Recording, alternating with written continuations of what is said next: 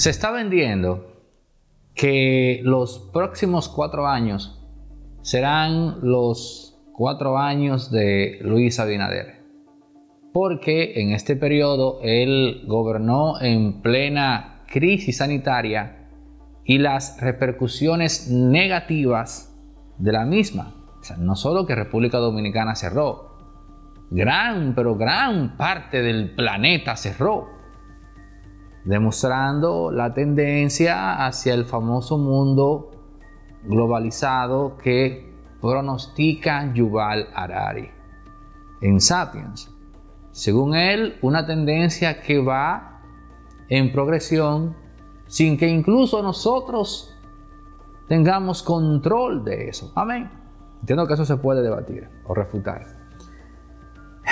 Pero parece ser que Luis Abinader va a chocar contra una pared.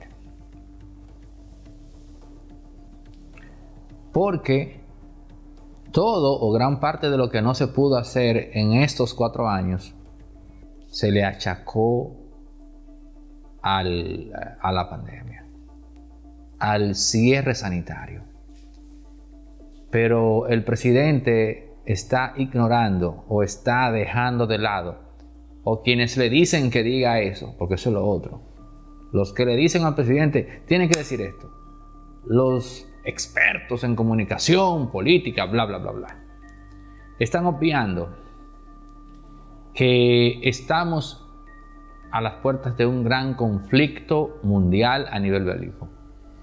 Una tercera gran guerra que supere en daños um, a la Primera y Segunda Guerra Mundial. Bueno, no lo sé.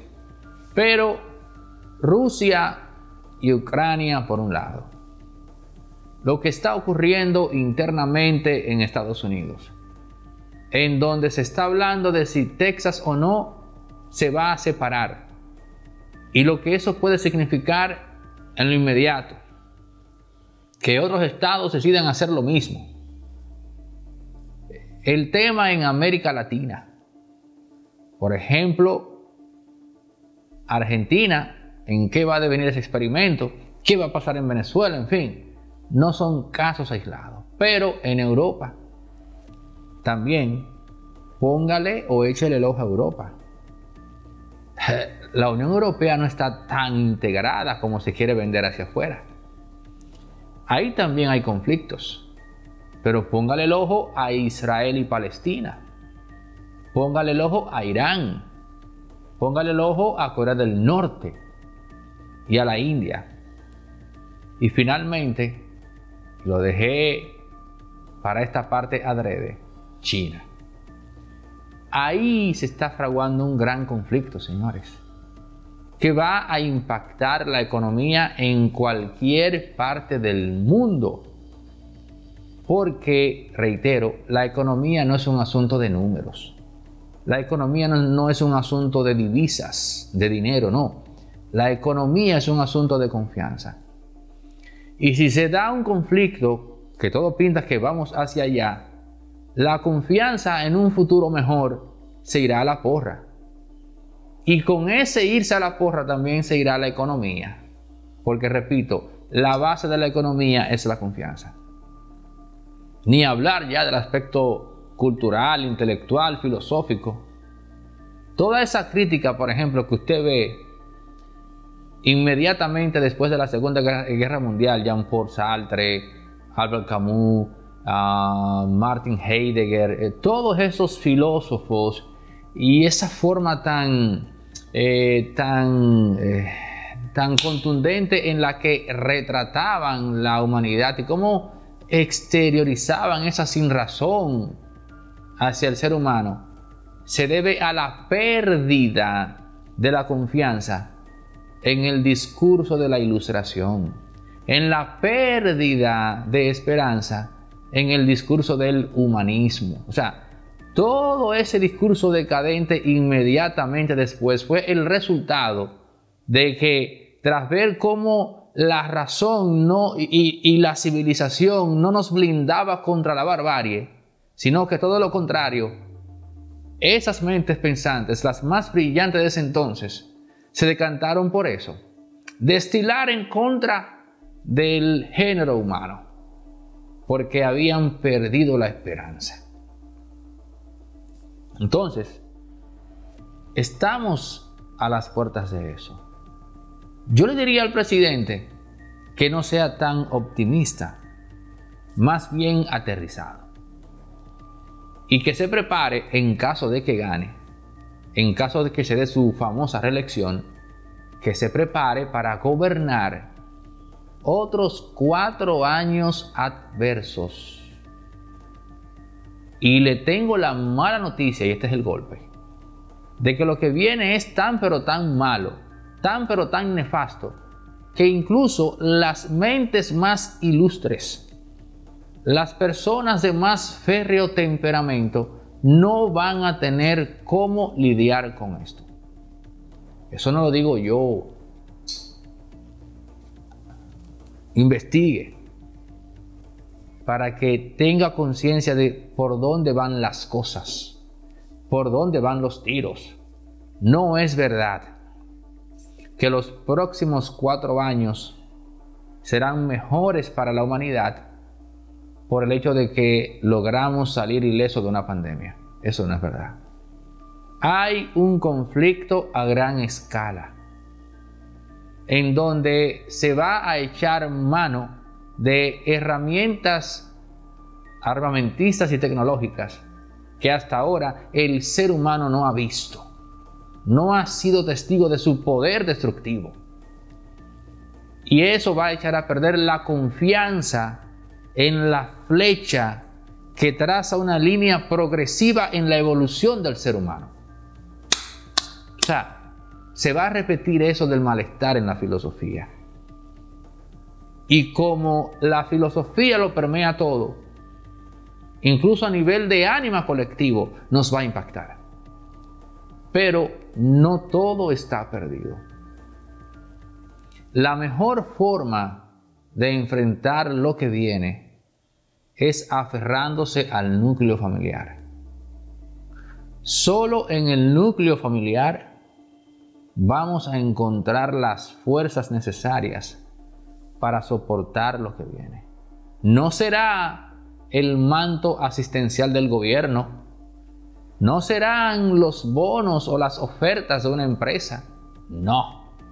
Porque incluso los gobiernos estarán indefensos.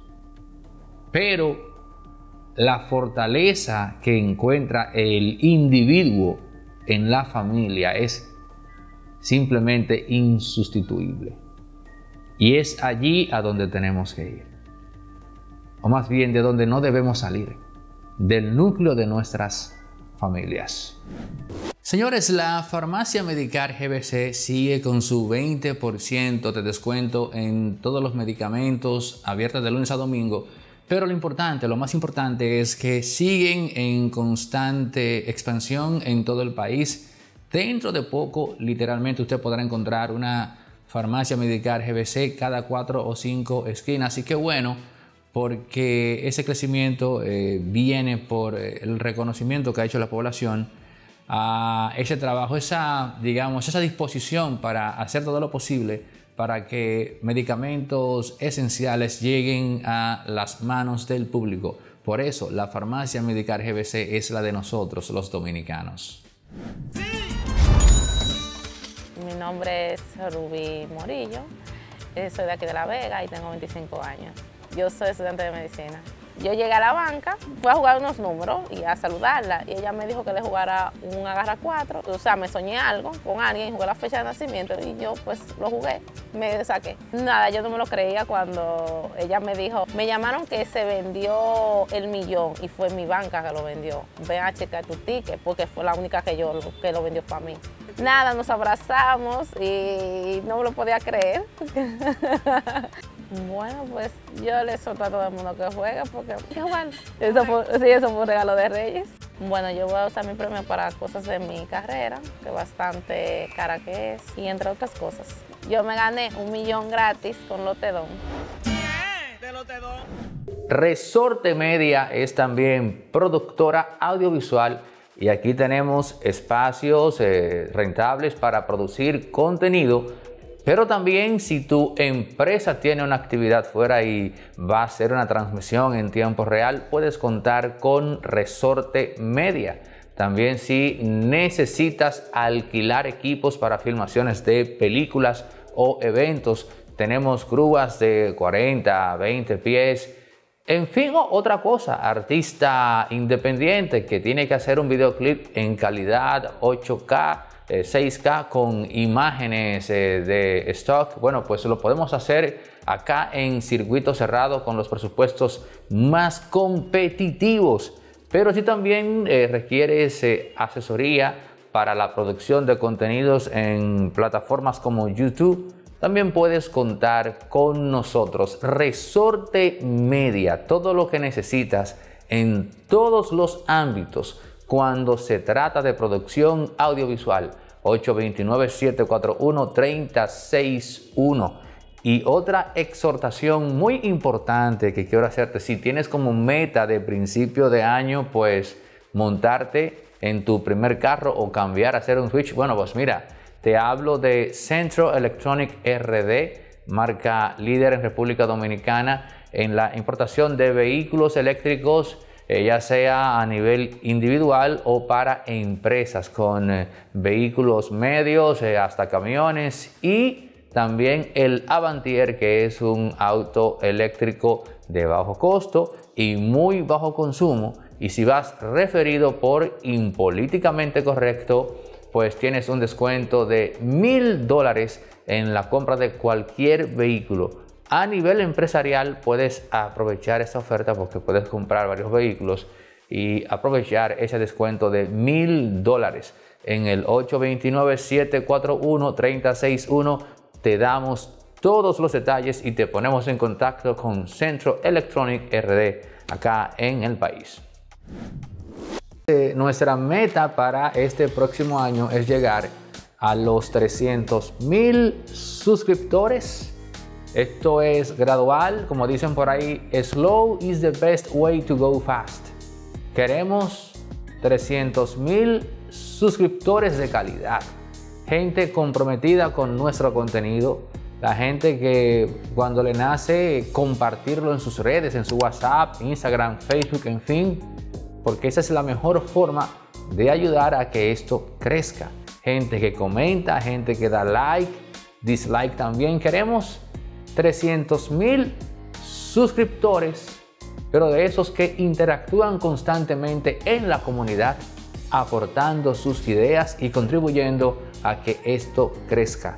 300 mil suscriptores es la meta para el próximo año acá en Impolíticamente Correcto.